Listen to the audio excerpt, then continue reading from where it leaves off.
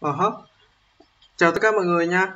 Và ngày hôm nay chúng ta sẽ quay lại với một cái video với một cái chủ đề mới Đó là thay vì sợ hãi hãy tìm cách để giải quyết vấn đề.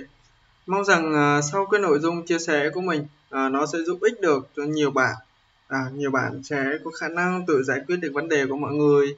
Và thông qua những cái câu uh, chia sẻ của mình ở trên thì các bạn sẽ có một cái nguồn dữ liệu để các bạn tìm ra những cái nguồn dữ liệu hay hơn nữa để các bạn tự giải quyết được tất cả cái vấn đề của các bạn ha.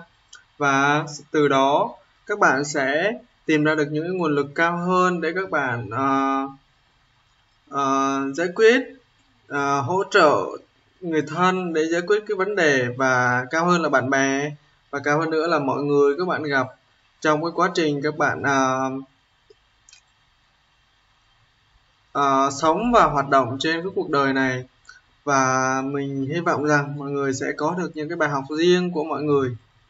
À, và mong rằng mọi người tôn trọng với những cái kiến thức và những lời chia sẻ của mình à, dành cho mọi người nhé tại vì những cái thức trên đó là những cái sự chất chiêu và những cái lời chia sẻ từ những người thầy đã dạy cho mình rất là nhiều. Và mình à, biết ơn về những cái bài học đó. Và mong rằng ngày hôm nay mình chia sẻ cho mọi người và mọi người cũng cảm nhận như mình. Đó là mọi người có được cái sự biết ơn và mọi người có được cái sự cảm ơn đối với nội dung mà mình chia sẻ cho mọi người. Và mong rằng mọi người sẽ vui vẻ và hạnh phúc đón nhận cái nội dung bài học nha. À, và bây giờ chúng ta bắt đầu ha. Mình xin phép đọc lại cái nội dung tiêu đề một lần nữa ha. Thay vì sợ hãi hãy tìm cách để giải quyết vấn đề. Nội dung ha. Thì nội dung đã nói lên rằng thay vì sợ hãi, hãy tìm cách để giải quyết vấn đề. Mọi người chúng ta có thấy không ạ? Chúng ta hầu hết khi chúng ta gặp một vấn đề thì chúng ta thường làm điều gì ạ? Khi chúng ta một gặp một cái vấn đề, điều chúng ta thường làm đó là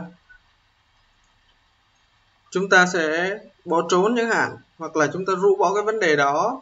Rũ bỏ nghĩa là gì? Cái vấn đề đó không phải do chúng ta làm ra, mà là do một người khác làm ra, không phải chúng ta do người đối diện làm ra hoặc là do hoàn cảnh hoặc là do ông trời chẳng hạn à, làm ra vấn đề trên chứ không phải là do chúng ta đúng không ạ? Hầu hết các cái vấn đề trên là do người khác làm ra cho chúng ta chứ không phải là do chúng ta làm nên cái vấn đề trên và chúng ta không chịu chấp nhận vấn đề đó là do chúng ta hoặc chúng ta né tránh cái vấn đề đó. Chúng ta cứ né tránh và chúng ta lẫn trốn cái vấn đề đó đúng không ạ? Thì cao hơn nữa thì chúng ta thường đó là làm gì? Oán trách cái vấn đề đó, tại sao vấn đề đó lại đến với tôi? Đúng không ạ? Chúng ta thường hay nói những câu đó là cái gì? Chúng ta oán trách ha.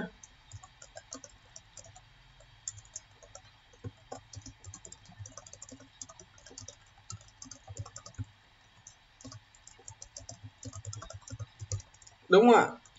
Mọi người thường sẽ nói rằng, tại sao cái vấn đề này này lại xảy ra với tôi mà không xảy ra với người khác? Tại sao và tại sao như vậy? Điều đó uh, điều đó sẽ khiến cho chúng ta sẽ có những cái vấn đề uh, mang tính chất tiêu cực. Tại sao là như vậy ạ? Chúng ta hay ngồi suy nghĩ thứ vài giây ha. Chúng ta hay ngồi suy nghĩ chúng ta hãy thử ngồi suy nghĩ thứ vài giây ha. Chúng ta hãy thử ngồi suy nghĩ vài giây xem tại sao chúng ta oán trách.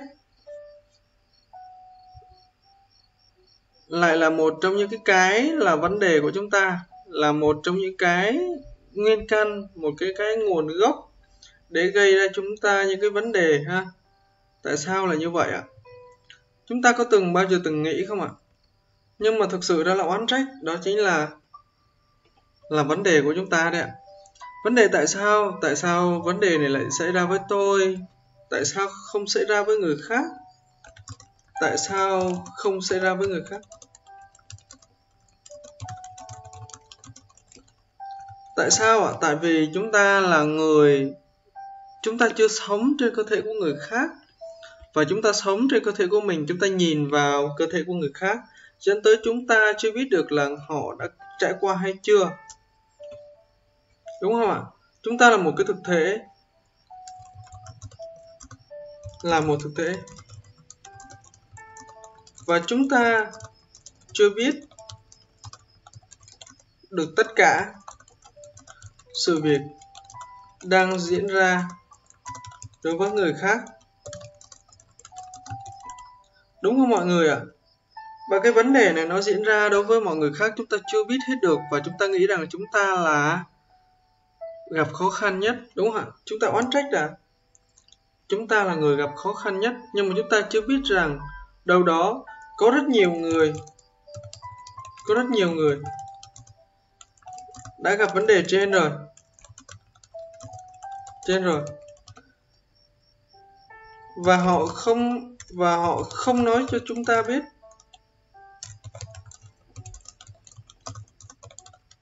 Đúng không ạ?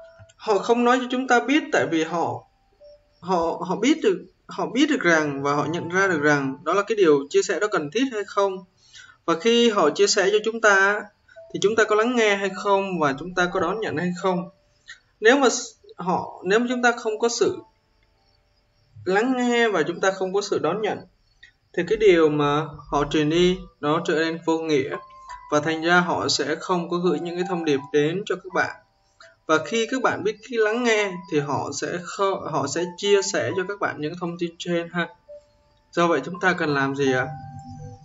Chúng ta phải biết hạ cái tô của mình xuống tại vì khi chúng ta đưa cái tô mình lên cao so với mọi người khác dẫn tới chúng ta sẽ quên mất những cái giá trị của chúng ta đang có và mình mong rằng chúng ta hãy làm cái gì chúng ta hãy đối diện với nó nhưng bây giờ chúng ta đang bài học về cái phần hành động chúng ta đang làm nên chúng ta hãy xem thử chúng ta có những cái hành động trên hay không và nếu có chúng ta hãy bắt đầu xem lại những cái vấn đề của chúng ta ha và để chúng ta sẽ à, qua một cái phần tiếp theo. Trong cái phần sau ha chúng ta phân tích tiếp cái vấn đề ha. Ngoài ra chúng ta có rất là nhiều nội dung khác nữa ha. Nhưng mà mình xin phép chưa xem một đoạn ngắn thôi ha. Tiếp theo chúng ta sẽ nói đến cái phần than vãn ha. Thường như chúng ta thường cái than vãn rất là nhiều đúng không ạ? Chúng ta than vãn ô cuộc đời này là sao bất công vậy đúng không ạ?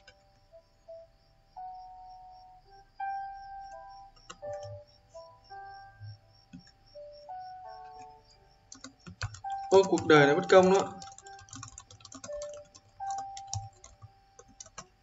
đúng rồi, chúng ta thường than vãn ôi cuộc đời này bất công, chúng ta than vãn rất là nhiều và rất là nhiều luôn.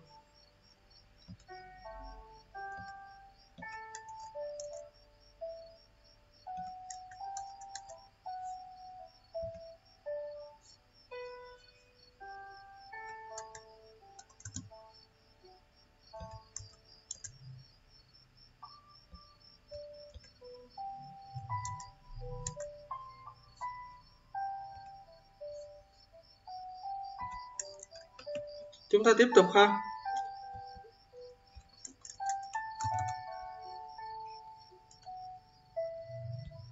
Chúng ta than vãn rất là nhiều về những cái khó khăn của chúng ta. Ô cuộc đời này bất công chứ đó là những cái câu chúng ta thường than ha.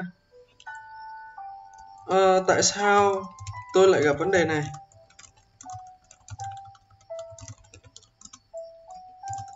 Tại sao cuộc sống lại ngột ngạt đến vậy? Nên vậy. Đúng không ạ? Chúng ta thường than vãn như vậy. Tại sao tôi lại không có tiền chẳng hạn tại sao ba mẹ tôi nghèo đến vậy? Tại sao ba mẹ mẹ tôi lại cố hữu vậy? Đúng không ạ. Chúng ta thường than vãn như vậy. Tại sao chồng của tôi không yêu thương tôi?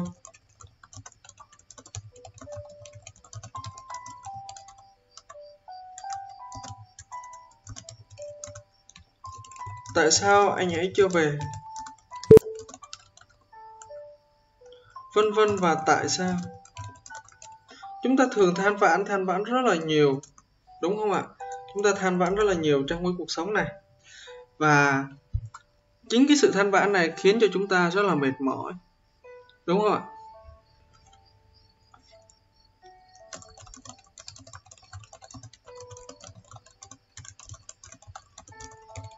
Mọi người có công nhận không ạ? Mọi người có công nhận là điều này không ạ? Khiến cho chúng ta rất rất là mệt mỏi luôn, đúng không ạ? Tiếp theo chúng ta sẽ đến một phần nữa ha. Một trong những cái điều mà mọi người thường làm đó là gì? Khóc lóc. Chúng ta thấy không ạ? Chúng ta thấy được cái vấn đề của chúng ta trong đó không ạ? Và nếu chúng ta thấy vấn đề, lập tức chúng ta thay đổi cách hành động ha.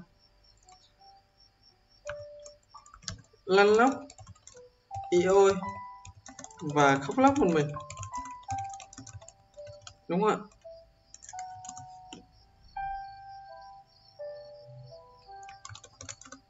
Khóc đến lúc muốn ngất đi. Và chấm chấm chấm. Chấm chấm chấm này câu này mình hạn chế nói tại vì nó sẽ mang những cái năng lượng truyền chưa có hạnh phúc lắm nên mình xin phép mình dừng ở đây ha và mình sẽ tiếp tục đến mục số 3 để cho mọi người ha.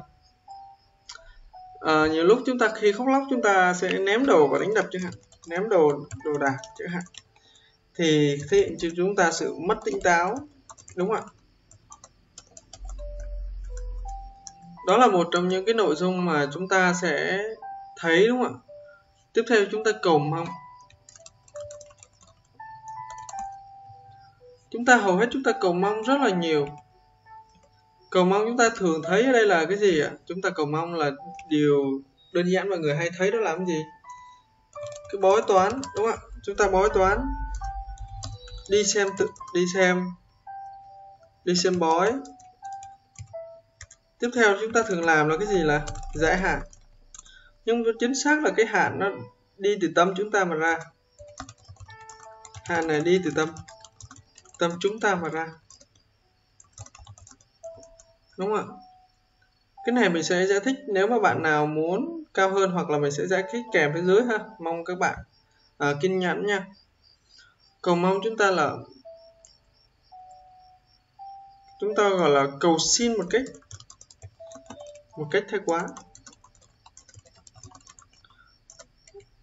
Không chịu hành động.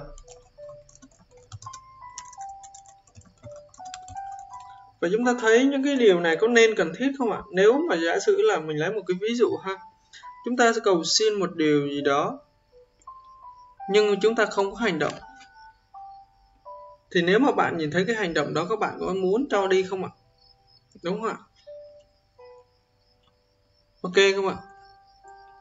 Nên do vậy là điều chúng ta cần làm đó là gì? Chúng ta phải là người chịu trách nhiệm câu nói ở đây để mình muốn nói cho các bạn rằng là cái điều gì ạ?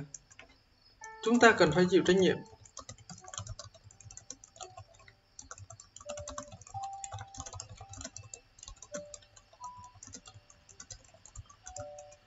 Câu nói ở đây là gì ạ?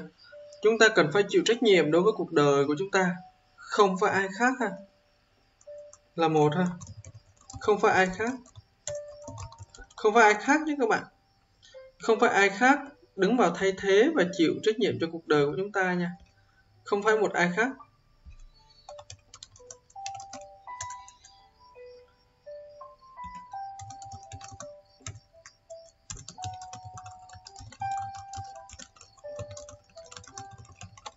Các bạn ok không ạ?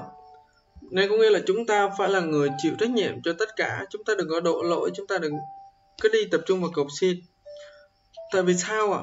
Tại vì chúng ta đã có tất cả nguồn lực rồi.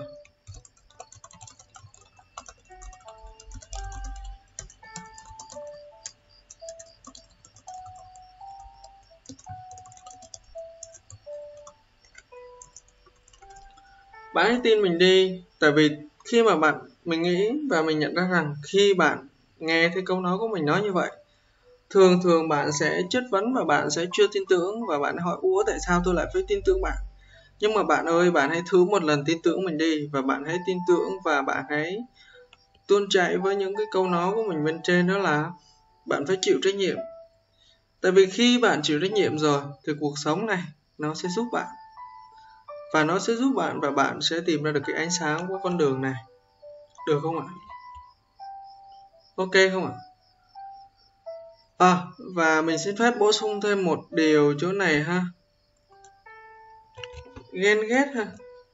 Chán ghét. Mình dùng từ là chán ghét ha. Thì thường mọi người cũng hay là từ chán ghét. Chán ghét đây là một trong những vấn đề của chúng ta hay làm đối với mọi người xung quanh chúng ta. Ta sẽ ruồng bỏ họ. Chúng ta sẽ ruồng bỏ những cái người mà gây chúng ta cảm thấy là chúng, chúng ta cảm thấy là khó chịu.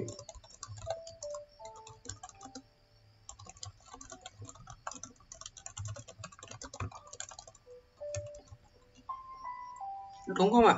Chúng ta sẽ ruồng bỏ họ. Chúng ta sẽ tránh xa khi gặp họ. Chúng ta sẽ hạn chế khi nói chuyện với họ.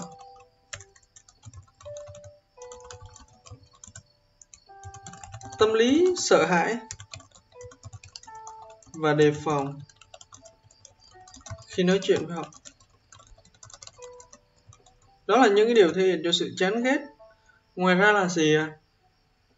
Chúng ta không muốn nhắc tới họ.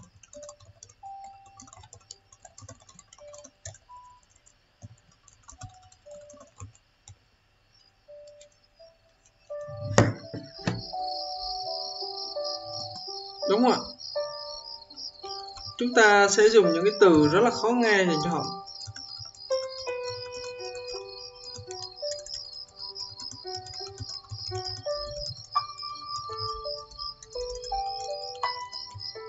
Và bạn ơi, chúng ta cần phải dành những cái lời yêu thương dành cho những người xung quanh, không phải là dành những cái lời miệt thị như thế này dành cho họ nha. Và vậy chúng ta cần phải làm gì? Chúng ta cần phải chịu trách nhiệm với cuộc đời của chúng ta. Không phải một ai, tiếp theo là không phải một ai khác thay thế chúng ta và chịu trách nhiệm thay cho chúng ta. Nha. Tại vì sao ạ? Tại vì chúng ta đã có đủ cái, tất cả nguồn lực rồi. Chúng ta có tất cả cái nguồn lực để chúng ta giải quyết vấn đề. Và mình tự tin rằng các bạn cũng vậy. Các bạn đều có đủ tất cả cái nguồn lực để các bạn tự giải quyết cái vấn đề của các bạn. Tự giải quyết tất cả vấn đề của mọi người đang có, đã có và đang có luôn. Và các bạn ơi, các bạn biết không? Khi các bạn trốn tránh cái vấn đề này, nó sẽ âm ý bên trong và nó sẽ theo lối của các bạn và nó sẽ đồng hành cùng các bạn và nó sẽ bùng phát vào một ngày nào đó. Do vậy, bạn hãy giải quyết vấn đề của các bạn sớm và sớm ngay có thể nha. Cái vấn đề nó sẽ bùng phát để nó sẽ bùng phát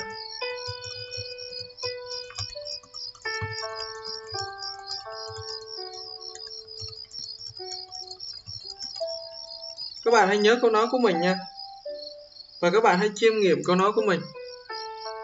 Và nhớ đó và hãy cảm nhận. Nếu bạn nghe cái phần trên này các bạn chưa cảm nhận cảm nhận được sự thuyết phục. Mình nhắc lại ha nếu các bạn nghe cái phần nội dung trên chưa cảm nhận được sự thuyết phục mình chia sẻ với những một, một trong những cái phần nhỏ trong nó thôi. Nhưng sau cái phần chia sẻ của mình các bạn chưa cảm nhận được sự thuyết phục trong đó, thì các bạn đừng nghe cái nội dung tiếp theo, nha. Mà nếu các bạn cảm thấy và cảm nhận được cái sự thuyết phục ở đó, thì các bạn hãy tiếp tục cùng mình xuống phần dưới, nha. Đúng không ạ? Cùng nhau, nha. Dành cho những bạn mà đã sẵn sàng rồi, chúng ta xuống phần dưới ha. Phần dưới đó là nói lên về cái sự khác biệt dành cho những cái bạn khác biệt chúng ta là những người khác biệt, đó là cái gì? Chúng ta là một người, chúng ta cũng là những con người như họ, chúng ta có đủ nguồn lực bên trong như họ, nhưng chúng ta có cái động lực và cái nguồn lực hiện tại rất là mạnh mẽ hơn những họ. Và chúng ta cuốn, chúng ta trong thâm tâm của chúng ta hiện tại ngay lúc này. Cái sự nỗ lực, cái sự tìm cách, tìm tòi, làm sao để giải quyết vấn đề cho trong chúng ta rất là mạnh ha. Một trong những điều thể hiện đó là cái gì? Trong thâm tâm của chúng ta ha.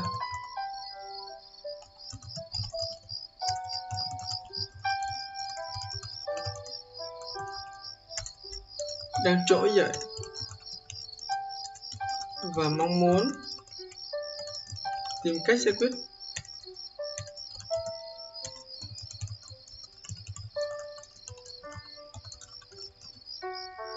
Một trong những ví dụ ha. Thì đó là dành cho những bạn muốn giải quyết vấn đề. Chúng ta ngồi xuống để giải quyết vấn đề ha. Vậy, khi chúng ta muốn giải quyết được vấn đề, thì chúng ta phải làm những gì?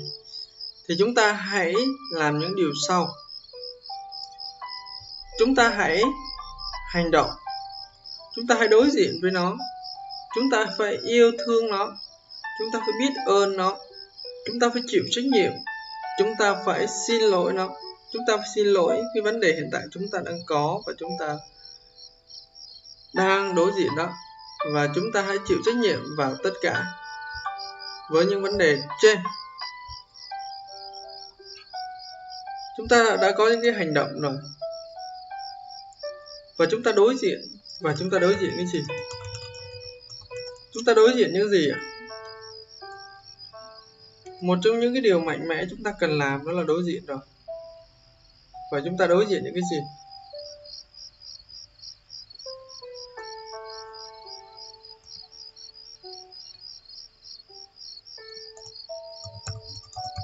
Sẽ chúng ta ngồi lắng nghe và hỏi lại họ,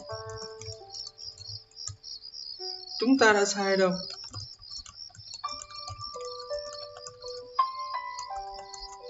Đó là một trong những câu nói để giúp chúng ta giải quyết vấn đề ha.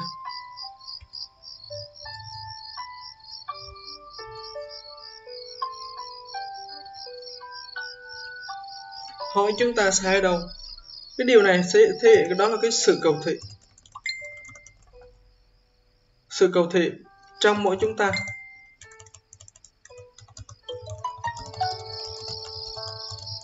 Được không ạ? Và mong rằng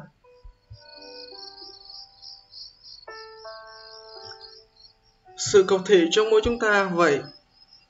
Mình mong rằng các bạn sẽ biết cách chúng ta đứng lên và chúng ta đối diện với nó, thể hiện bằng một cái sự cầu thị thực sự trong mỗi chúng ta khi chúng ta lắng nghe họ, ha? Điều tiếp theo chúng ta cần đối diện với nó thể hiện là gì?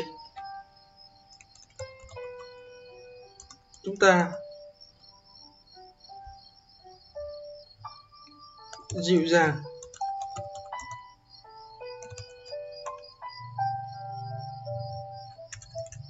Nói cho họ hiểu. Những cảm xúc hiện tại của bạn. Với họ ha. Khi bạn nói với họ với những cái cảm xúc hiện tại và những cảm xúc với những cái sự dịu dàng và những cái sự yêu thương thì họ sẽ lắng nghe bạn. Đối diện chúng ta làm cái gì đúng không ạ? Chúng ta ngồi ở đó, chúng ta là ngồi lắng nghe ở đó. Chúng ta không từ bỏ họ. Được, không từ bỏ họ.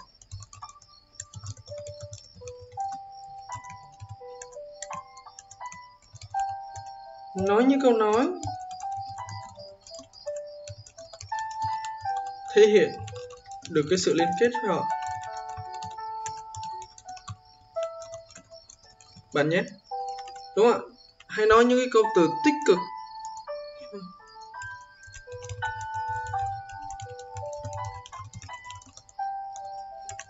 Nha bạn bạn hãy nói những câu từ tích cực nha. Hãy nói những câu từ tích cực.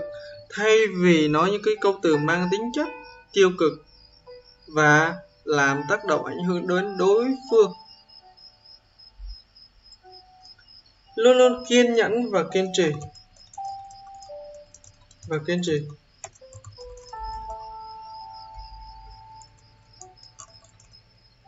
Tin tưởng vào người đối diện.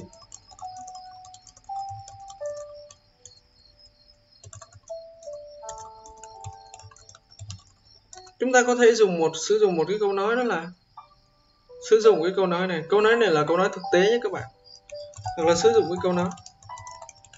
Câu nói này là tại sao mình lại đưa ra như này? Thực sự đó là mình là người xài, nhưng câu nói này thực sự trong vũ trụ này đã vốn sẵn có.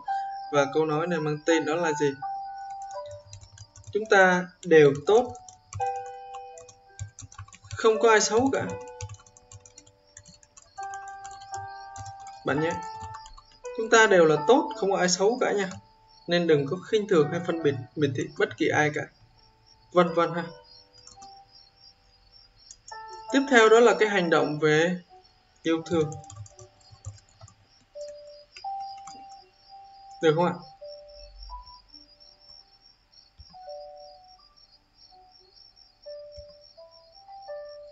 Thế đối với lòng yêu thương đó là gì ạ? Nói những lời yêu thương dành cho họ. Nói lời cảm ơn dành cho họ.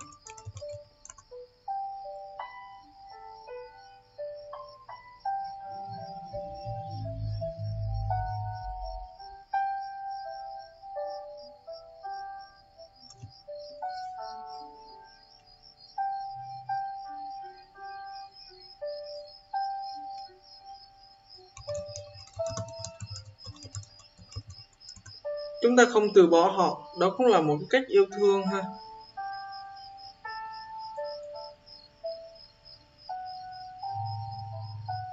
Có thể chúng ta là ngồi ờ, ngồi hỏi han họ chứ hạn vài câu câu nói chứ hạn thì đôi khi ngồi nói vài câu á, thì đó là thể hiện của sự thân thiện á.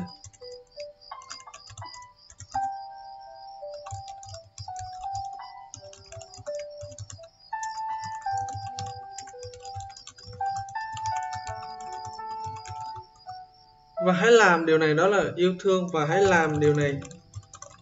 Thật lòng nha. Không giả dối nha. Không giả dối nha bạn. Và hãy yêu thương. Nếu mà người thân của các bạn, nhiều lúc bạn có thể chạm tay, các bạn có thể là dành cho họ những cái ôm.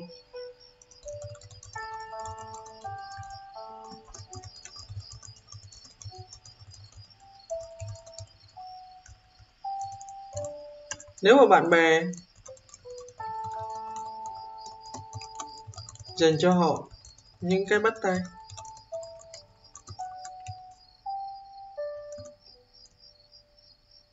và tất cả mọi người, đó là cái nhìn thân thiện, nụ cười tôn trọng, và đừng cười trong sự khinh bỉ nha nụ cười tôn trọng nha bạn.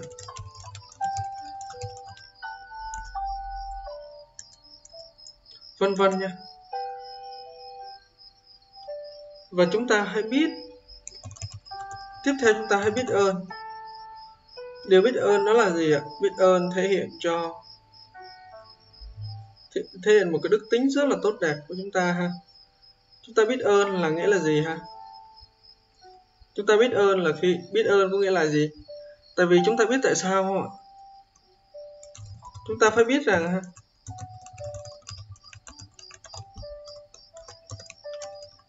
tất cả mọi người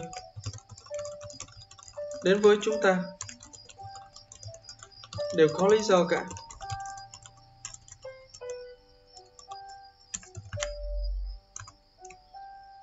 Tất cả mọi người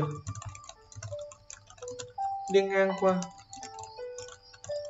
đều giúp chúng ta. Trưởng thành ha, tất cả mọi người đi ngang qua đều giúp chúng ta trưởng thành. Không có ai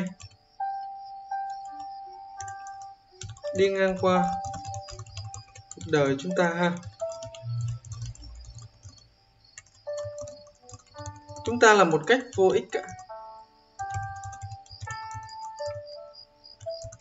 Do vậy, hãy biết ơn. Thay vì chữ họ hả? Mình sẽ lấy những cái ví dụ tương đối thôi. Nếu các bạn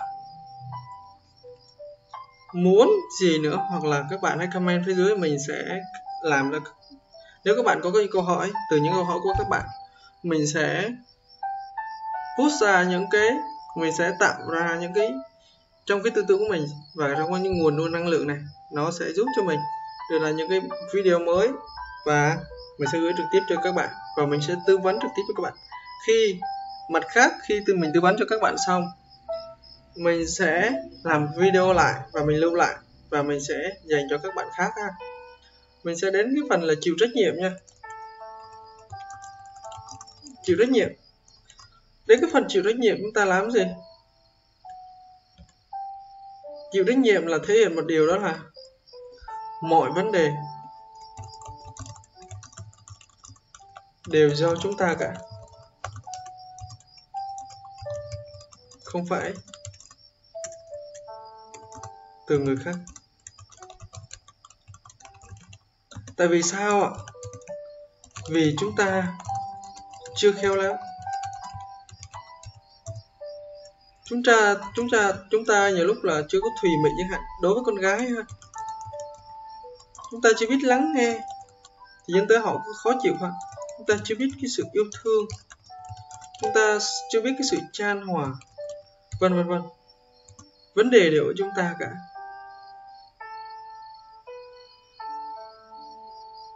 Tất cả là vì chúng ta và chúng ta là phải là người chịu trách nhiệm được không ạ? Chúng ta chịu trách nhiệm với tất cả.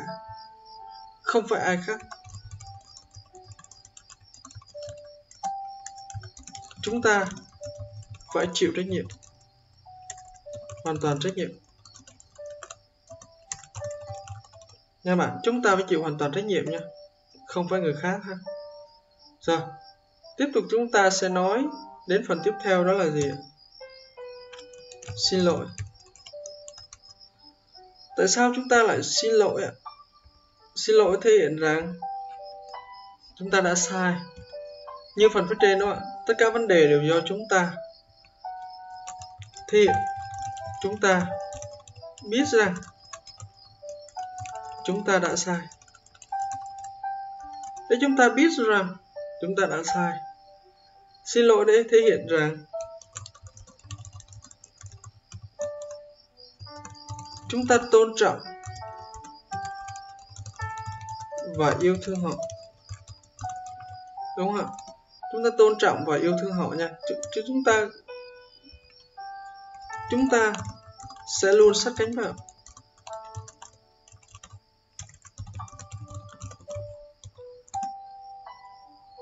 Chúng ta tin tưởng họ.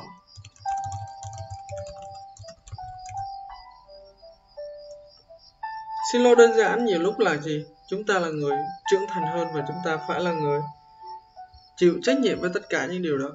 Xin lỗi đơn giản là gì? Điều đó thể hiện là gì? Cái sự trưởng thành của chúng ta. Xin lỗi thể hiện cái sự trưởng thành của chúng ta. Xin lỗi thể hiện cái sự bao dung.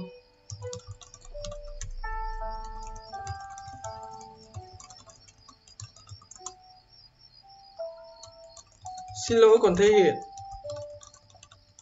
Lòng cầu thị. Và xin lỗi còn thể hiện. Rất rất là nhiều điều nữa. Và xin lỗi thể hiện rằng chúng ta là bạn. Chúng ta cần nhau.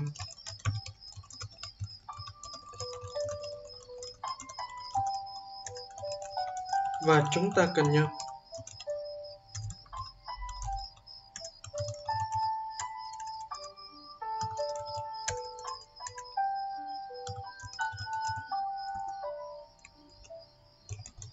Xin lỗi, thể hiện cái sự yêu thương.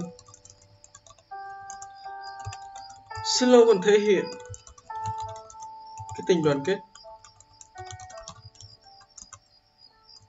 Vân vân và vân vân. Và mong rằng câu trên sẽ giúp mọi người có được những cái bài học sâu sắc ha.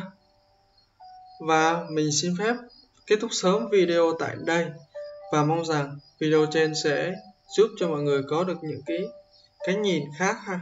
Mình sẽ nỗ lực và sẽ làm ra những cái video mới. Một câu cuối trước khi mình ngừng video đó là mọi vấn đề đều xuất phát từ chính chúng ta. Chúng ta hãy chịu trách nhiệm nhé. Không đùn đẩy cho bất kỳ ai khác. Và lời cuối cùng đó là chúc các bạn luôn luôn tinh tấn. Tinh tấn. Yêu thương. Hòa nhã. Hãy luôn luôn làm những điều tiêu cực cảm ơn tất cả mọi người ha. Khi bạn nói bạn chịu tất cả các vấn đề, bạn đã bạn đã có đủ cách thức để giải quyết vấn đề. Khi bạn nói, đây là lỗi của tôi, thì ngay lúc đó bạn đã có cái cách để giải quyết vấn đề của các bạn. Xin cảm ơn mọi người đã chú ý lắng nghe cái video. Nếu cái video hay, các bạn hãy like và share nhé, và subscribe kênh nhé à, cảm ơn tất cả mọi người. Thank you mọi người. Cảm ơn tất cả mọi người. Bye bye. Xin cảm ơn ạ.